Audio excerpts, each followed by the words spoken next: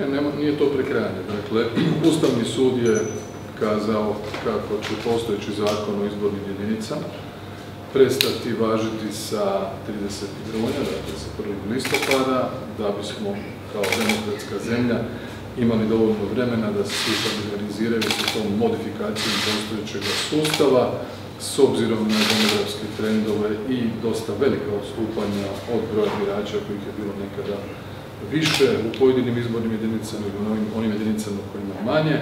Došlo je do modifikacija i te modifikacije ćemo predstaviti sutra u koaliciji, vjerujem da ćemo postići suglasje i nakon toga će taj akt ići u javno savjetovanje, bit će rasprava u Hrvatskom saboru i vjerujem da ćemo usvojiti zakon na vrijeme.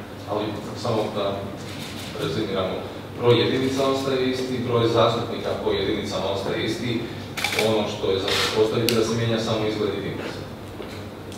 Da, donekle. Puno toga ostaje kako je. Dakle, mi mijenjamo ono što moramo mijenjati da bismo doveli na neki način u okvir jednaki broj prilike birača po izbornoj jedinici. Njih će prilike oko 360 i nešto tisuća.